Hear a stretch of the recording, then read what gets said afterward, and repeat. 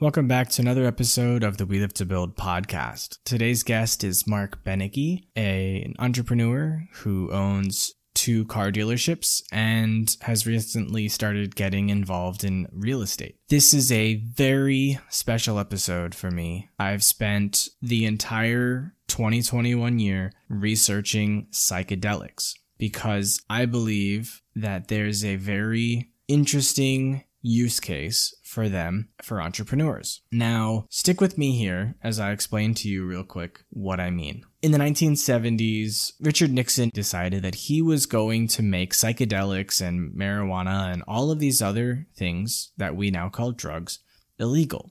The truth of the matter is, before they were banned, there was tremendous research that was done, which showed that mushrooms and LSD have huge potential for helping people with PTSD, trauma, with anxiety, depression, all sorts of ailments. But not only can it help people to feel normal again in ways that antidepressants and anti anxiety medications can't, but it also can help normally functioning people to feel great. And this is the story of our guest today.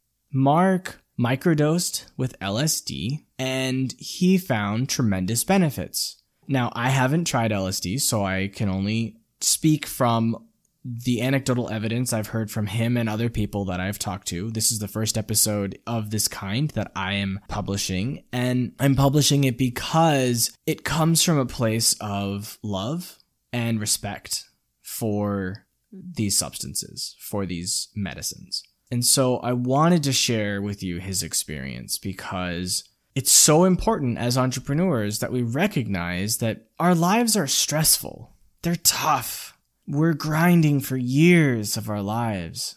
And oftentimes that can beat us down. We can feel burnt out. We can feel depressed. We can feel all sorts of things.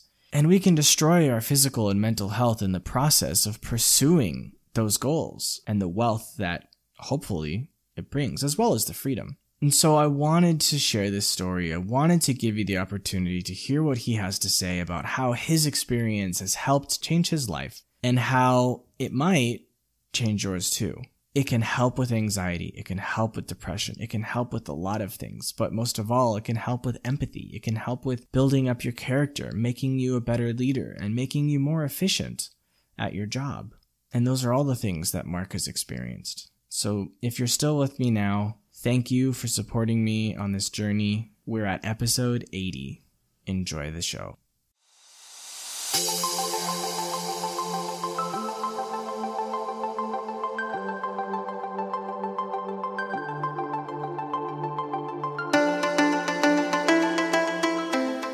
Welcome to We Live to Build. My name is Sean Weisbrot, and I'm an entrepreneur, investor, and advisor based in Asia for over 12 years. Join us every week to fast track your personal growth so you can meet the ever increasing demands of the company or companies you are passionately building. Time waits for no one, so let's get started now.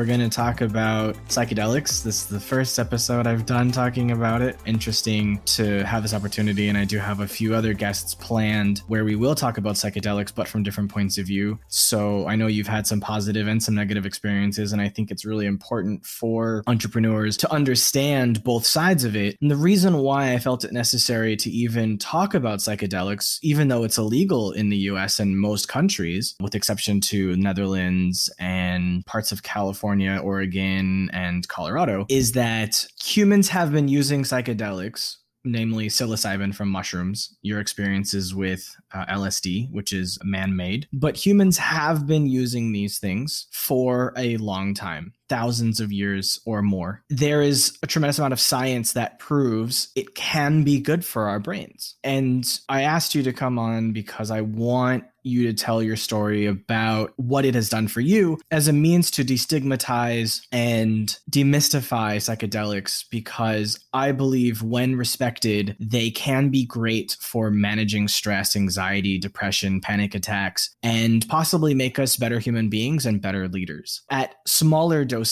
I believe there could be tremendous value. Um, so, with that said, thank you for joining me. I really appreciate it. This is something that is probably very private for you, very personal, and probably not easy to talk about, but it needs to be said. And, and I'm happy that you're the person to do it. Felt like you were really uh, humble kind of a person, and I felt like you were the right guest to talk about it. So, welcome to the show, and why don't you introduce yourself? Thanks for having me. And well, my name's Mark. I own uh, two car dealerships with my brother. Uh, we also have a real estate holding company where we have uh, three apartment buildings uh, together. And I also do fiction writing on the side, kind of like as a hobby. So, and I'm planning on doing that a lot more now that I I guess recently retired. But I will say, as far as uh, psychedelics go, like I tend to be pretty open about my use of them. Um, I mean, obviously, it, it, it's kind of depending on like which audience you're you're with. Uh, some people are completely against it. Other people are, you know, open to the idea, but not necessarily willing to try. And then there's the other ones that are just super gun ho about like wanting to know everything about it and wanting to try it themselves. And why don't you tell us a little bit about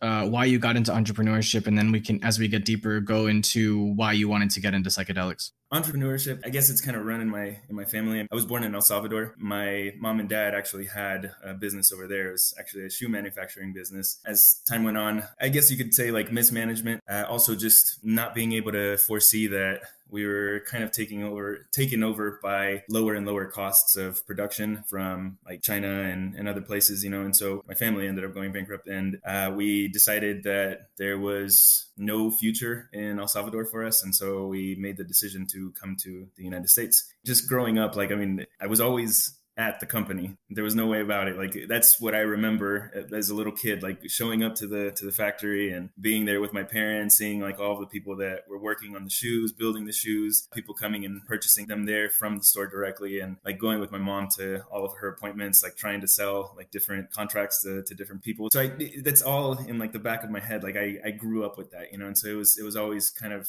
meant to happen, and to couple that with the fact that I have kind of like a problem with authority as it is like I can't take orders very well. So I, I kind of feel like it's it's the only route that I really have available to me. I definitely can't be an employee. When we were here in the United States, uh, my mom and dad actually ended up starting the the car dealership. We were pretty strapped for the longest time, and I ended up going to school, but I was still working. Like from the moment we opened up the dealership, my brother and I were always working there. Back in 2014, my mom ended up getting sick with, with cancer, and my dad decided that he didn't want to work anymore, and so he made multiple suggestions to us that we should buy him out. And so my brother and I ended up buying him out of the, the company. And then uh, we started ourselves trying to, I wouldn't say fix because he had a pretty good structure to the business, but it wasn't a structure that was going to grow the business at all. Uh, and so my brother and I started putting systems in place that we could easily follow and continue growing it, got the business completely out of debt, ended up growing the accounts a thousand percent uh, over the course of, I want to say four years or so. We started funneling some of the money into the holding company and then we focused our, our attention kind of in between both. And then as of uh, about a year ago, we started training somebody to be able to to take us out of the business. And instead of having to focus on the day to day, we can focus more on like the overall growth of the company and uh, kind of focus a little bit more on the real estate side of things as well, and just any kind of hobby that we want to explore as well. So that's kind of a bonus there. But um, the reason that I started down the path of psychedelics um, i will say i was always curious about them the fact that like the mind is so unexplored and, and it's the thing that we understand the least and being able to kind of like delve into it yourself and kind of confront everything that you have in there. It's scary for a lot of people, but at the same time, it's honestly like it's the only thing that you you really have about you that you could truly call yours. You know, there's nobody else that's going to have a mind like yours. And so, a few years back, I was offered some LSD, and it's interesting because most people like when they tell you about it, they always consider the drug to be like one of the harshest drugs that you could take and one of the scariest things. And you also there's there's this uh, misconception that it like once you take it it's with you for life and there's no way that it ever comes out of your system. So that's complete bullshit. It's out of your system pretty quickly. Now the experience that you have may not be out of your system for the rest of your life but when i took it i was expecting it to be like this full blown trip where I was going to see shit everywhere and it was just going to be like hearing things and seeing and just like things just morphing and it wasn't. It was not at all. It was like a very internal experience. Freedom is the best way to describe the experience you just feel like your mind is opened up and your your body just feels free. Um, you don't feel constrained by anything that's around you. You you become hyper aware. Like your empathy levels go up. You start like experiencing things in, in just like a whole other level that you would never expect. But like as far as like the the visuals went like the biggest thing that I got were pretty major pulses, you know, like uh, breathing, uh, like walls would breathe, um, trees would move around, see waving,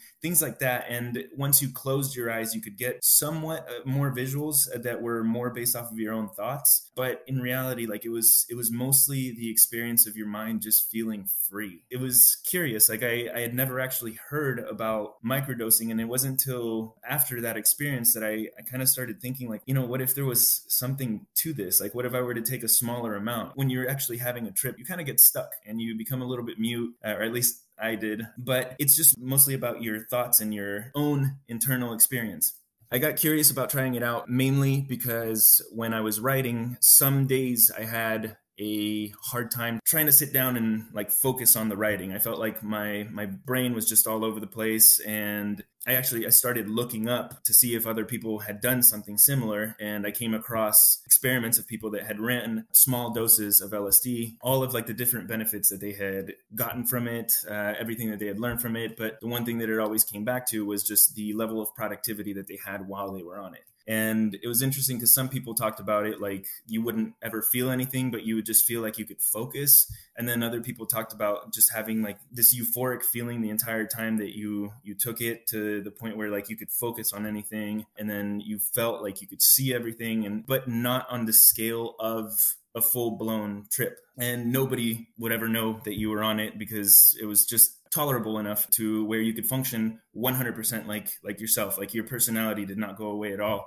It was just you with this like altered experience i guess. And so i ended up getting my hands on some. I will say that the first few times that i did it it was it was the most incredible thing ever. Like there were definitely a lot of positives from it. Um, as far as your focus, there's nothing else that could ever beat it. Like brain fog went completely away. You were just sitting there. If if anybody has ever experienced the state of flow, it is like the state of flow multiplied by a hundred times. Like you you can sit there and focus on something, and nothing could ever distract you away from it. You have tunnel vision in what you're doing. It's not like tunnel vision to where you're stuck it's more of tunnel vision where you feel like you're doing something like the most important thing that you could ever be doing. Whatever you set your mind to, that's what you were doing. And it was great. But there were also a few other things that came with it as well. Like I will say for me personally, I did feel the effects of it. I definitely felt like I was on something. You know, like when you take a painkiller, you definitely feel that you're on something. It's not necessarily to the point where you feel high. I definitely didn't feel high, but I did feel like there was something altering the way that I would normally see or feel or experience things. I guess like the biggest benefits that I got from it was the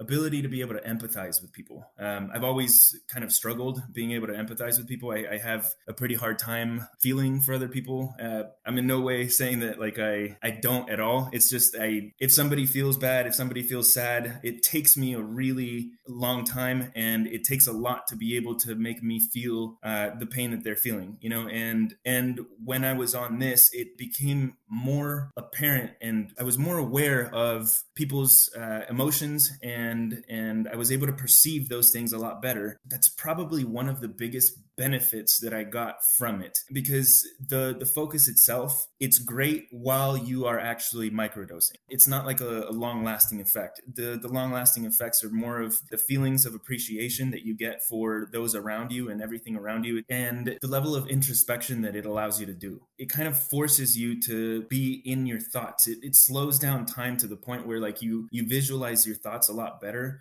and you're able to to kind of just be there in that moment and experience things as they come. And because of that, that's the type of things that you're able to take outside. So one other thing too that, that I will say is uh, it almost works kind of like as a performance enhancer as well. I, I jog often, and so when you're sprinting or when you're tired, you know, like you're doing something a little bit harder, you don't quite like you feel it but you don't quite care enough to stop. It's almost like you're you're able to motivate your mind to just keep going and going and going and you're able to just do it. So it's it was kind of interesting because it wasn't just completely mental. It was also a somewhat physical experience as well. There's definitely that added benefit in there as well. I ran the experiment for about a year and a couple of months or something like that and it was great for probably about the first I want to say like 8 months or so. And then after the eight months is when I saw that I guess like the empathy that I had towards other people started diminishing again. Like I still was able to see, like perceive the emotions of everybody and but I I didn't quite have like the feeling that I had from before that was one part that like kind of let me know that maybe I was running the experiment for a little bit too long. The biggest part was that I started getting kind of like depressive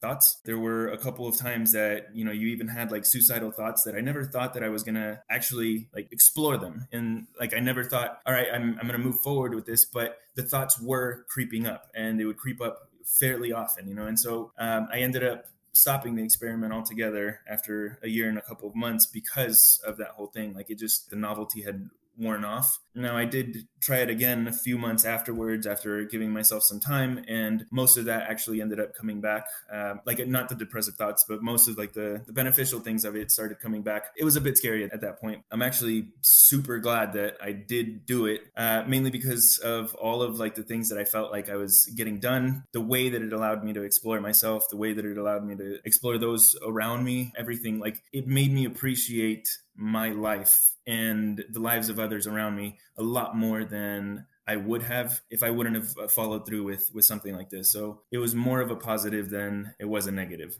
like way more of a positive than it was a negative. How long has it been since your last dose? I want to say about two and a half years. Do you feel like there's still lasting positive effects or negative effects? Negative effects? No. I mean, right now, um, any form of like anxiety or depression or anything like that, not there. Like as, as soon as I stopped taking it, it went away. As far as positive effects, yes, I am still, I'm able to empathize with people a lot better now. Um, I I, I find myself that to being able to like pull myself out of ruts really quickly. So if ever I feel like I'm in like a negative spot or things are just not quite working out the way that I think they are, you know, sometimes all of us get those moments where we feel like, man, the whole fucking world is coming down on us. What are we going to do? And this person yelled at me and now I'm losing this account or whatever. And I find that it just, it, it doesn't matter. Like I've always been able to figure out a way and it's easy to, to be able to just pull out of it and keep focusing on everything good that you have coming your way you know? And and uh, i would say those those are probably like the biggest benefits that have uh, lasted with me. And also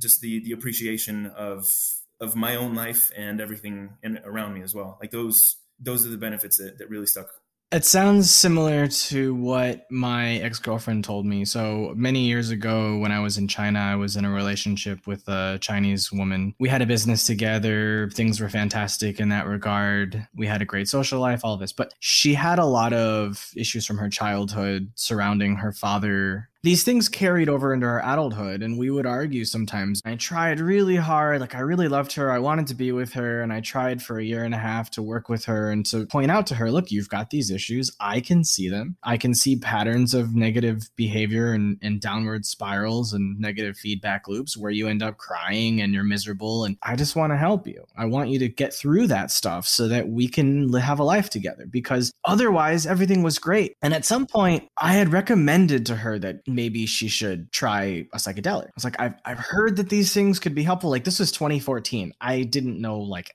anything about them, but I had just, I had heard, I said, maybe you should try. Well, I ended up breaking up with her because I just didn't see a change coming and I didn't want to spend the rest of my life trying to fix her. About a year later, we happened to meet in a restaurant on the in the neighborhood where I was living. Just happened to bump into each other. Had no contact in between then. And she was like, "I need to tell you. One of my friends one day like 6 months ago offered me LSD, and I remembered what you had said and I tried it. During my experience, I could see all of the crap you had been talking about from my past, and I felt this deep need to just let it all go. And when I came to this realization and I allowed this to happen, I just felt this immense freedom. And I felt all of my worries just melt away. And I feel completely changed from that one experience. And I have to thank you because my life is totally better now. It's so much better. And I was like, why the hell couldn't you have done that when we were together? But since then, she's uh, moved to London and gotten married to a British guy. So congrats to her. You know, I'm glad that she's happy. That was the first time that I had ever talked to someone who had experienced it. And I kind of filed it away in my head. I've never tried LSD, so I don't know what the experience is like. Um, I've just heard other people talk about it, so I can only speculate. But yeah, that that was like so fascinating for me because in the last six months, which is how we met, I started doing a ton of research about about psychedelics. You know, I, I believe that there's science out there that shows there's tremendous potential benefits for people. Uh, there's, you know, even I believe during Vietnam, in the early days of Vietnam, uh, the military was doing research with PTSD and, and other trauma with LSD. And they found that it was basically curing soldiers' PTSD and then you know it got banned and so most of the world stopped doing research i see a revolution in psychedelics happening right now in america because the legalization of marijuana has created the path for legalizing psilocybin and lsd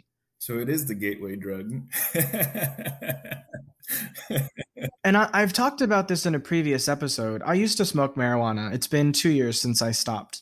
I feel like marijuana is great if you have pain, physical pain, but I don't see there being much brain benefit. Where I see the research, the science showing that if you want to heal your brain, psilocybin and LSD are two of the fastest and best ways to do it. Where there have been people like my ex girlfriend who who've had these hallucinogenic experiences and basically feel like a single afternoon undid 20 years of, of psychological damage permanently. I'd be curious to talk to her and see like if she still feels the same or if anything has has changed, you know, after a long period of time. Because that you said that was back in 2014, right? 2014, yeah. And unfortunately, I I lost contact with her when she was getting married. She was like, "Look, you know, I'm I'm getting married. Like, I just don't think it's a good idea that we keep being friends." And I was like, "If that's how you feel, then okay, fine." So I'm curious through all of this, were you consuming coffee at any point? Caffeine whenever i took it while i was on like microdosing.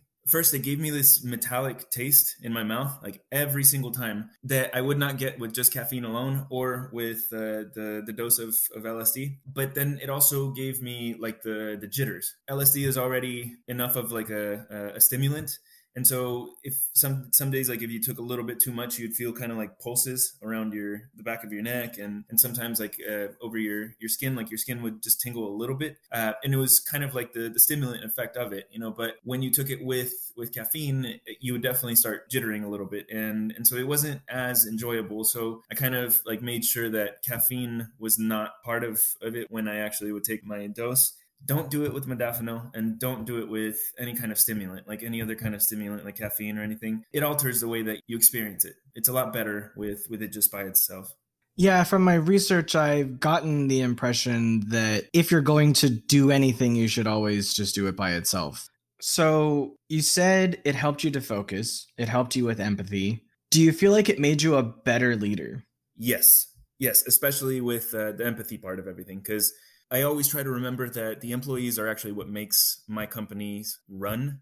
And without them, I am nothing. Like I am literally just some guy sitting around barking order, orders at fucking nothing. And so I've also come to recognize the fact that employees have a life outside of your business. And we always have this misconception that we're the ones that care the most about the company, but that's that's just a fucking lie too. Like there are employees that care so much about your company and you and everything that you're trying to build, even if it's something like uh, collecting bills from people. Like people think that there's no purpose behind collecting that you have to do something that matters in the world, but that's the thing like it matters to the people that are involved in that business and that's the biggest thing about it. Like the employees care about it when you show them that you care about them. It took me a long time to to finally recognize that, but I definitely saw that the more time that I would spend trying to feel for them and trying to get to know them and trying to involve them in my life and the business, they began getting more engaged with the company. And I just, I, I definitely felt like uh, there was more of a connection all around the company. And again, this could be, I just feel like that, you know, but I, I do think that it actually benefited because obviously I wouldn't have gotten to know my employees more if I hadn't taken the time to to kind of try to get to know them better and try to you know feel for for their lives and what they were experiencing. While I was going through like my whole experiment, I started talking to to one of our collections girls there a little bit more and starting to, to get to know uh, her her life a little bit better. And it was interesting because let's just say she was going through a pretty hard time. I had no idea about this at all, and it got to the point where I ended up telling my brother like you know she will quit on us right now if we don't intervene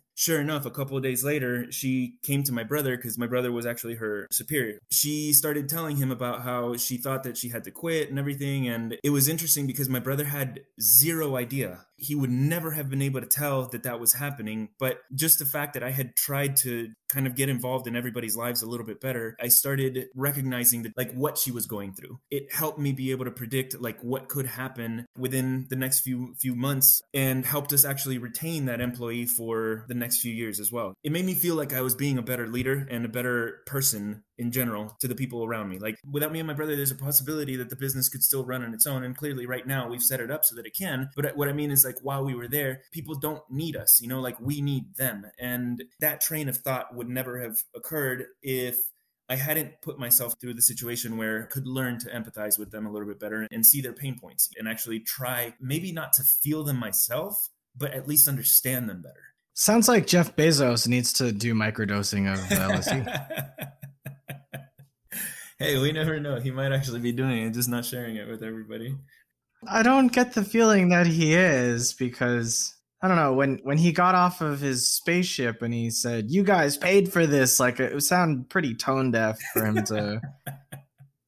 Hopefully, he'll relive that moment for the rest of his life and go, "Shit, I shouldn't have done that." But that's just very telling of who he is um, and the cutthroat nature of of his personality. So, do you feel like microdosing improved your relationship with your family and you're married, right? Mm-hmm. How has that helped with her and your brother and, and your parents? My dad and I have never had, let's say, like a super strong relationship. Like, I love my dad and I have a lot of respect for him, but I do tend to cling on to a lot of like bad things that happened in the past and everything. But it has helped me kind of just let it go and realize like it already happened. Like, there's no reason for you to let it keep on leading uh, you down like that same path, you know? And so I do notice that I don't get into as many arguments with with him at all anymore. I just kind of let it wash off. You know, like if I notice that maybe like we start trying to get into an argument, I stop and I'm able to be more aware like in the moment and let it go and recognize the fact that like hey this is going down like a, a shitty path like don't let it it's not worth it my brother and I I would say that we're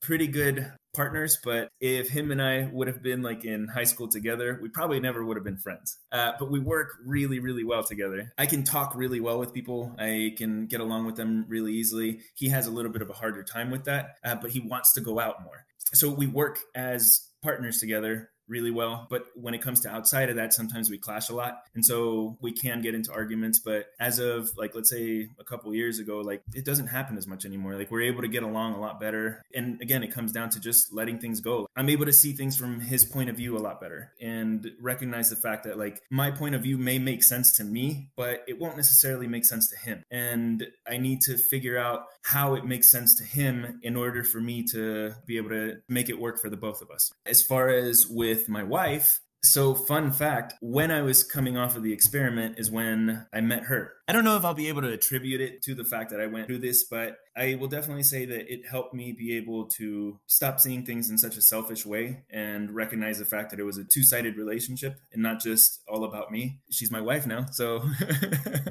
so maybe that's that's the answer to it. But there's probably a million other things that I learned during my time. But just the fact that I can listen better and I can dig out like the things that might be wrong. I can pay attention to her feelings a little bit better. That's all helped tremendously. We don't fight, we don't argue. Whenever there's like a, a dispute dispute that we have. Like it's something that for me in the past, like I was always the type of person that you need to settle this shit right now. You know, like if you're upset with me, I can't fucking tell if you're upset with me. So tell me and you know let's end it right now but that's not how women work yeah exactly but it's interesting though because now with her like she she does tend to want to fix things really quickly but i'm able to tell when she's upset and so i'm able to kind of like dig things out quick and take care of it quickly as well. And because of that, we don't get into like these full blown arguments where we're fighting, like we don't yell at each other. It's definitely a lot better than than any other relationship that I've I've had in the past. So I'm I'm glad for that, but take it with a grain of salt. Like I, I cannot attribute everything to like microdosing, but